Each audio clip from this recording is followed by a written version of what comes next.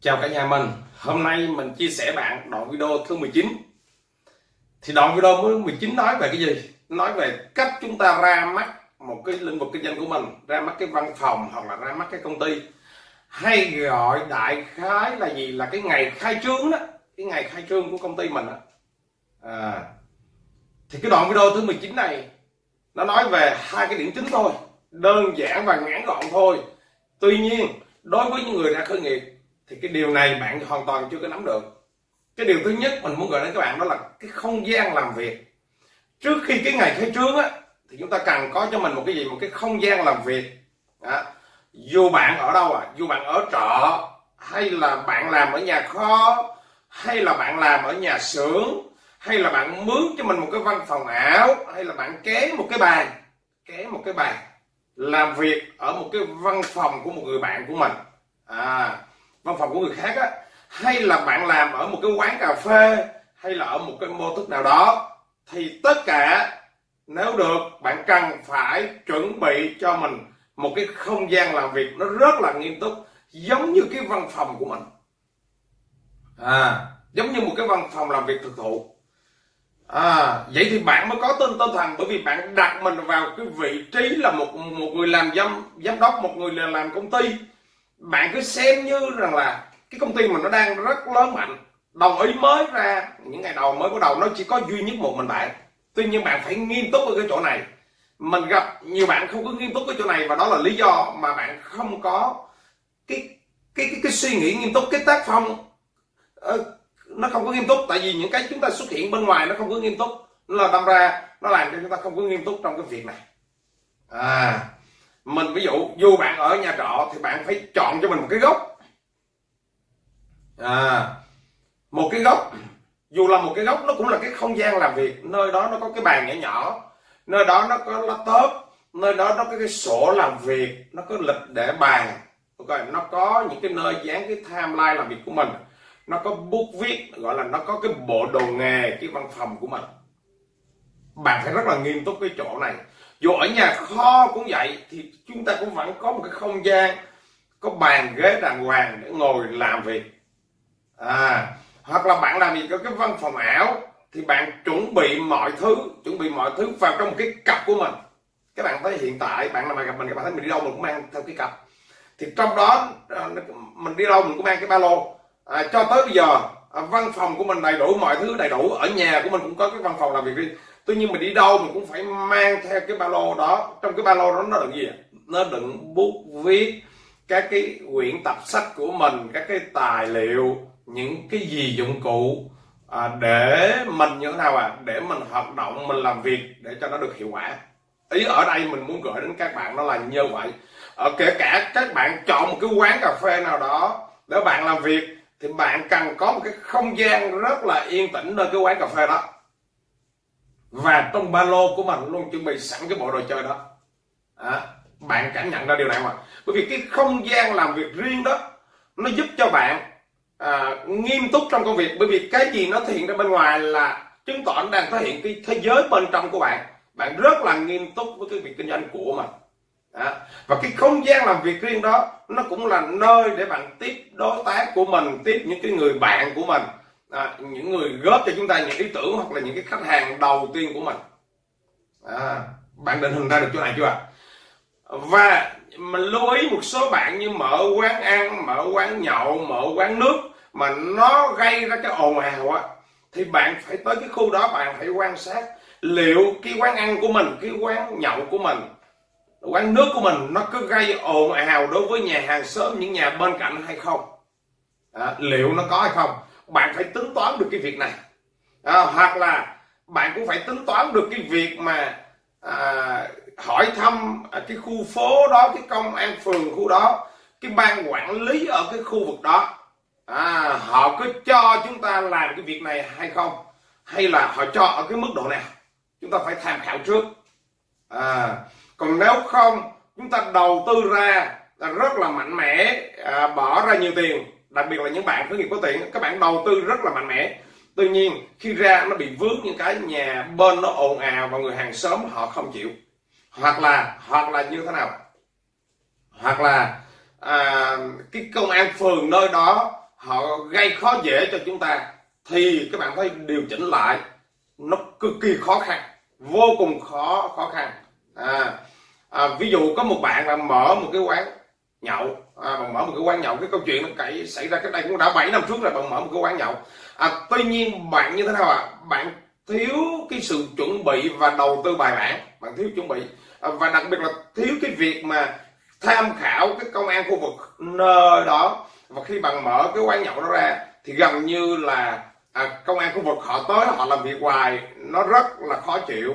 Và và như thế nào các bạn đúng không và như thế nào? Và khách đó, khách đó, họ tới họ tới và họ thấy như vậy và họ đi và liên tục mấy tháng như vậy cái là bạn như thế nào? Bạn không có làm ăn được bạn phải đi chuyển đi cái chỗ khác nó rất là khó khăn.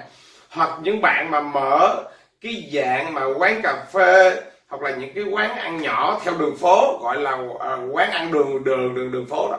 À, những uh, trên cái hè phố vỉa hè thì các bạn cũng phải chuẩn bị những cái khâu mà mình nói như vậy. Càng nghiêm túc thì cái chúng ta chuẩn bị nghiêm túc nghĩa là chúng ta đang chuẩn bị cho thành công. Còn chúng ta không nghiêm túc nghĩa là chúng ta đang chuẩn bị cho sự thất bại. Các bạn hình dung ra điều này chưa? À và mình mong các bạn sẽ làm tốt này. Cái thứ hai là cái lễ và sự kiện ra mắt hay là còn gọi là cái ngày khai trương đó, cái ngày ra mắt cái văn phòng của mình á. Thì cái ngày ra mắt cái văn phòng của mình á những năm qua mà đi dự rất là nhiều. À các bạn thấy có những tháng gần như là tuần nào mình cũng đi tham dự khai trương. À, mình làm mình cái bạn của mình mình tham dự khai trương liên tục. Thì à, mình thấy một cái điều rất là thú vị là các bạn thiếu đi cái sự chuẩn bị ra ra mắt. Ví dụ như là ngày hôm nay là ngày ra mắt thì trước đó nửa tháng à, bạn đã phải bung lên chương trình rồi. À, bung lên chương chương trình rồi. Nó càng có một cái chiến lược để ra mắt. Bung trên lên website này bung lên trên facebook nè bung trên trên zalo nè trước ngày ra mắt đến ngày ra mắt chúng ta bung tới ba lần lận à, dĩ nhiên chúng ta có một cái chiến lược bung từng bước từng bước từng bước một. À, trên các cái kênh truyền thông của mình. À các bạn thấy chưa? À và đó nó phải theo thứ tự nó như vậy. Và bạn phải như thế nào à bạn phải à, test mọi thứ nó vận hành cho ngọt. Nó phải vận hành nó ngọt đã à, nhiều bạn xem như cái ngày khai trương là cái ngày chúng ta mới đi test sản phẩm là các bạn tiêu tiêu tiêu tùng hết. À, chúng ta phải test sản phẩm trước đó rồi. À, bởi vì cái ngày khai trương là cái ngày mà khách hứa đồ họ đến họ muốn trải nghiệm một cái dịch vụ hoàn hảo.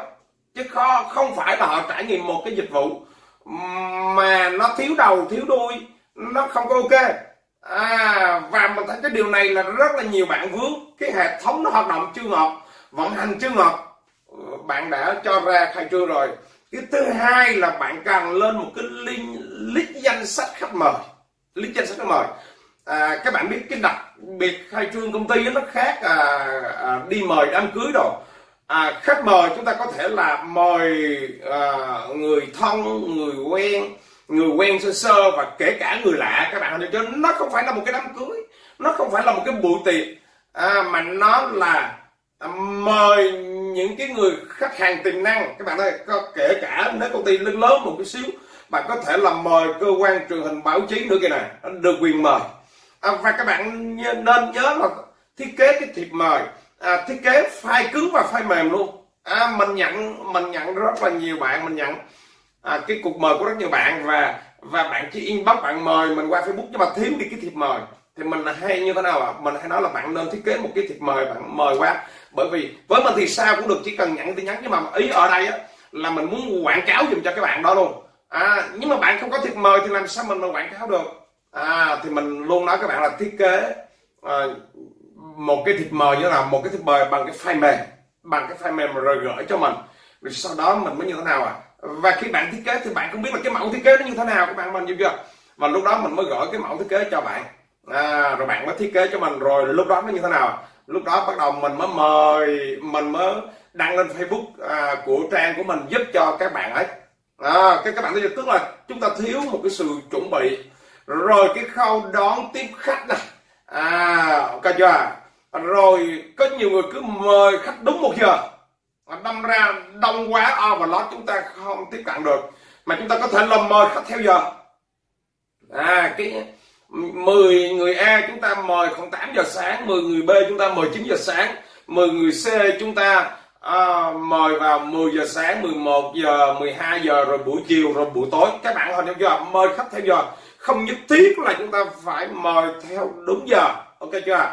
À, và trong cái trong cái cuộc tiếp này này chúng ta cho khách hàng trải nghiệm sản phẩm và chúng ta nên upsell. Upsell nên bán hàng liền. Đầy những người ngay ngày khai trương họ thiếu một cái khâu tổ chức bán hàng họ không có upsell.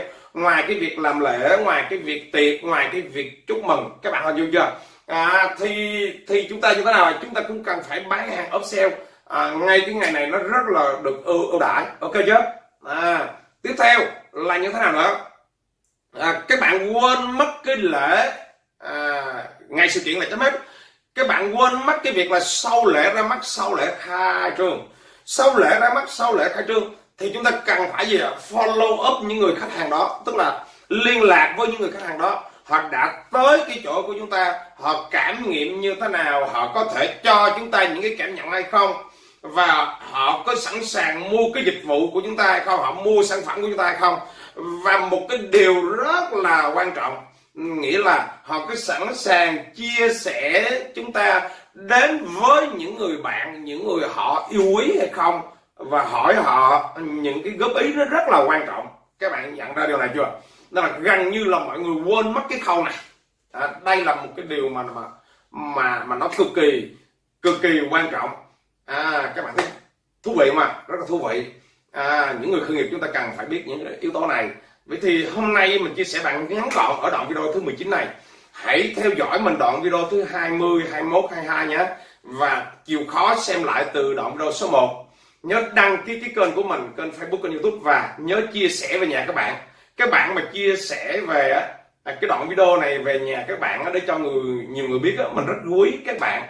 Mình vô cùng quý các các các bạn bởi vì bạn đã chia sẻ được cái những cái thông tin này đến cho nhiều người. Cảm ơn các bạn rất là nhiều. Mình sẽ gặp lại các bạn sau. Bye bye các bạn.